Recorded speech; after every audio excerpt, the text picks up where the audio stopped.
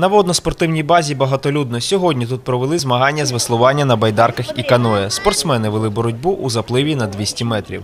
Это открытый сор- э, чемпионат областной организации ФСТ Украина. Участие принимают три команды. ДЮ США ФСТ Украина, э, ДЮ США Спартак и КДЮ США номер один э, освиты Міської ради.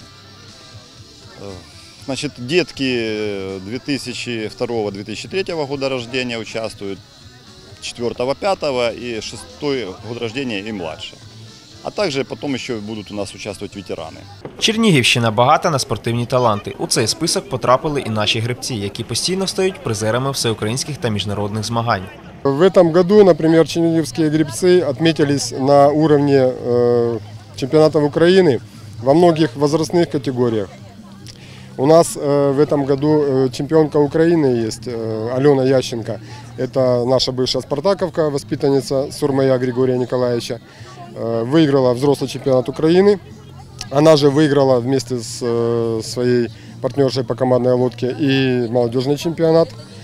Есть у нас победитель молодежного чемпионата и финалист первенства Европы среди молодежи. Это Евгений Росомаха, воспитанник Гамалея Сергея Александровича. В байдарке было э, трудно, потому что соперниц больше, чем в каное. В каное всего три человека, поэтому не сильно тяжело, мало конкуренции.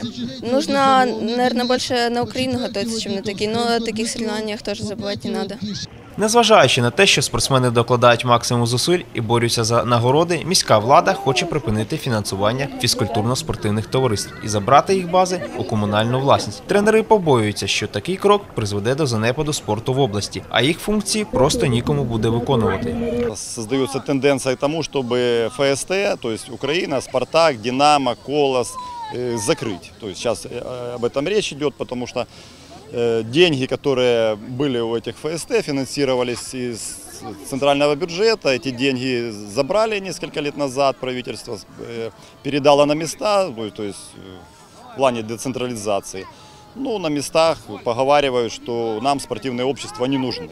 Та, попри всі негаразди, спортсмени та їх тренери переконані, що фізкультурно-спортивні товариства не припинять своєї роботи і будуть надалі виховувати майбутніх чемпіонів.